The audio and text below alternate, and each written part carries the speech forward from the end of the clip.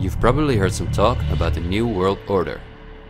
The media wants us to believe that this is a topic for conspiracy theorists, although it has been talked about for generations by presidents such as George Bush Sr., Nelson Mandela, and Bill Clinton. We have before us the opportunity to forge for ourselves and for future generations a new world order, a world where the rule of law, not the law of the jungle, governs the conduct of nations. When we are successful, and we will be, we have a real chance at this new world order, an order in which a credible United Nations can use its peacekeeping role to fulfill the promise and vision of the UN's founders. After 1989, President Bush kept said, and it's a phrase that I often use myself, that we needed a new world order. That uh, the affirmative task we have now is uh, is to actually um, uh, create uh, uh, a new world order. But also by the world's most famous philanthropists such as Cecil Rhodes, David Rockefeller, Henry Kissinger, and even George Soros.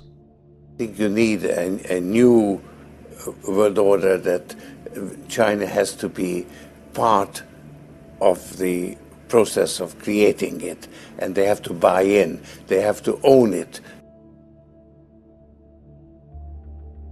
These important figures, who apart from Mandela, were all among the top of the elite when they were still alive, are not the only ones who dream about an all-powerful world government.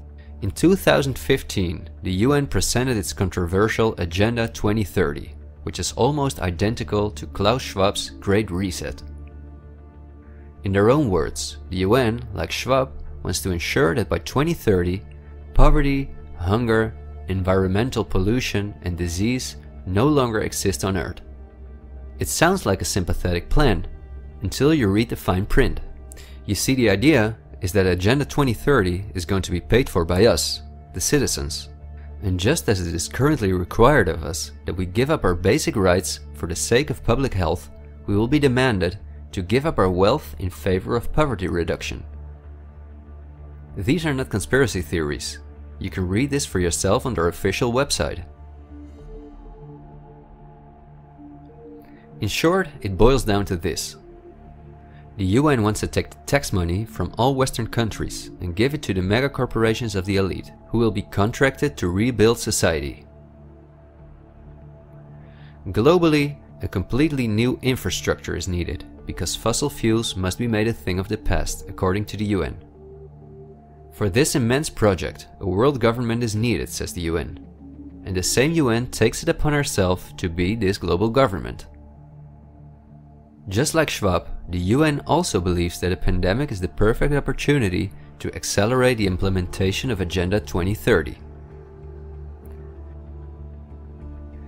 It is worrisome that the WEF and the UN openly admit that they consider pandemics and other disasters as an opportunity to transform society, especially since we have seen that the elite have all the resources at their disposal to make us believe that there is a pandemic, and even to create one. So we certainly should not take these things lightly, and we should examine them carefully. And when we do that, we come across things that are even more troubling.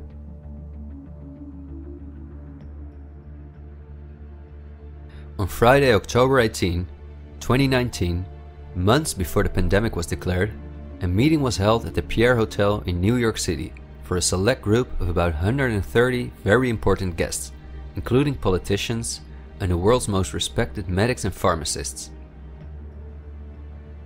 The purpose of the meeting was to simulate the possible scenarios in the event of a global pandemic. This could be a coincidence, you might say. For this simulation, however, a coronavirus was used as an example.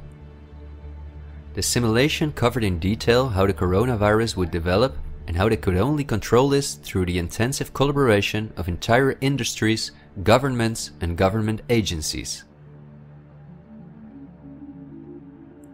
Once again, a new world order to save us from destruction.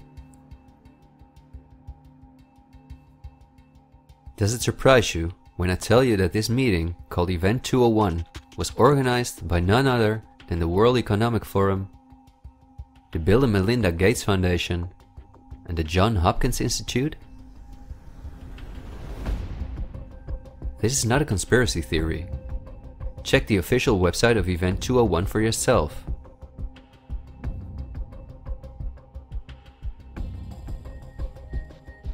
Perhaps at this point, it will no longer surprise you that the German Robert Koch Institute, which like every national health institute in the world is closely linked to the WHO, which is funded by Bill Gates, created a similar simulation in 2012.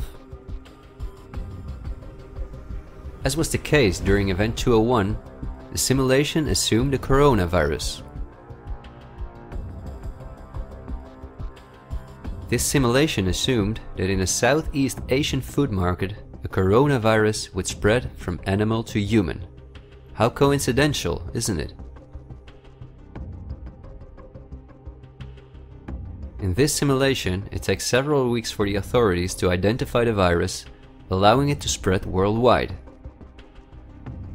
The simulation is made of the consecutive three years, in which there are lockdowns and economies are destroyed but also the impact on society is simulated in all aspects, even the protests.